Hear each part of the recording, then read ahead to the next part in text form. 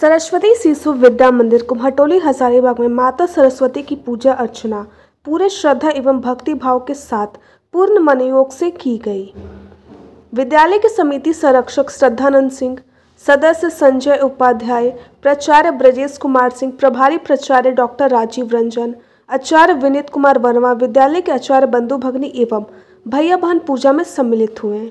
मौके पर पूरा विद्यालय, परिवार ने माता सरस्वती की पूजा अर्चना पूरे भक्ति भाव के साथ की। गौरतलब है कि माता सरस्वती की पूजा अर्चना में विद्यालय के भैया बहनों ने बढ़ चढ़कर भाग लिया और उन्होंने माता सरस्वती से आशीर्वाद प्राप्त किया। माता सरस्वती का पूजन पुजारी प्रेम कुमार पांडे ने संपन्न कराया।